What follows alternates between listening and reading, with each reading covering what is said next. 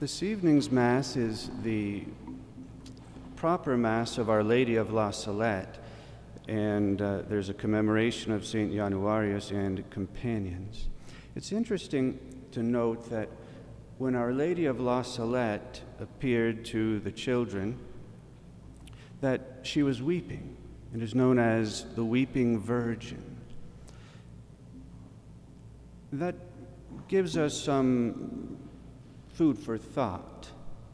Our Lady, we can picture her standing at the cross, tears again flowing from her eyes, and yet she had no one there to console her. Certainly not the priests. They were the ones who wanted to crucify him. Certainly not the blaspheming thief, nor anyone else around the cross.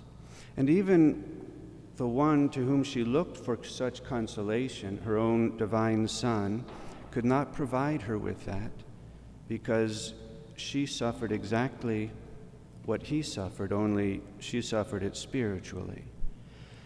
A friend, I got to thinking, is such a good thing to have one of the greatest graces that one can have. There are many of them out there who, people out there who have no true friend who consoles one when they are weeping, let's say, like the weeping virgin today. Their friends just sort of ignore the problem or don't even see it. Well, today's saint, Saint Januarius, is an excellent example of a very good friend. When his friends were found during the, one of the great persecutions in Rome, when they were imprisoned for the faith, he didn't just leave them there alone. Well, certainly, in some sense, anyone would be justified for not visiting them because to go and visit the, someone who's imprisoned, you risked being imprisoned yourself. But Januarius, he risked it all for the sake of consoling his friends and seeing that they kept the faith even if it meant shedding their blood for it. So he would visit them, and each day that he went, he would encourage them keep the faith, even if it means shedding your blood, for soon you shall see God.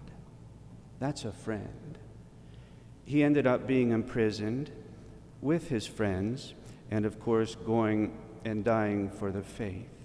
But I think we, today is a good day to think about true human friendship on the one hand, but on the other, the divine friendship. Who is there left today that is a true friend of God or Our Lady? Who, for example, will wipe the tears from Our Lady's eyes for all the sins of those who crucify her Son in their heart? Who is there to help our Lord to carry his cross up Mount Calvary? So few today because the faith is so much lessened. So, ma- so many few people, that is, have the true faith. And among true Catholics, there are so very few who are true and loyal friends to our blessed Lord.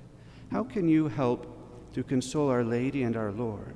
Well, it's easy. Our Lord tells us in the Gospel as long as you did it to one of these, you have done it to me.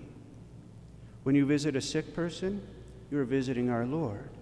When you instruct the ignorant, you're paying attention to our Lord, and so on and so forth.